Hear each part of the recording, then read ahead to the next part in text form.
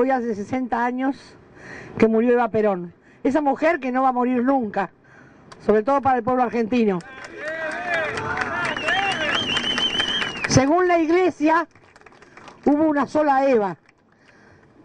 Según las madres, la única Eva es Eva Perón. Perdonen los de la iglesia.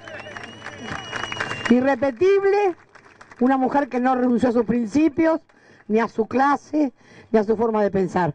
Así que desde acá nos abrazamos cada vez con más fuerzas y con más ganas a esta mujer que nos enseñó todo. ¡Viva Eva Perón!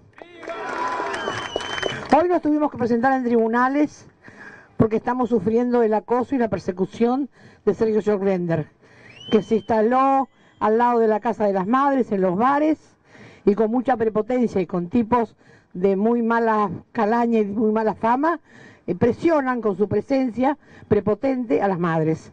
Así que nos presentamos en tribunales porque nos sentimos perseguidas, acosadas, y no vamos a permitir que este tipo nos enferme. La verdad que es una vergüenza que él todavía esté suelto.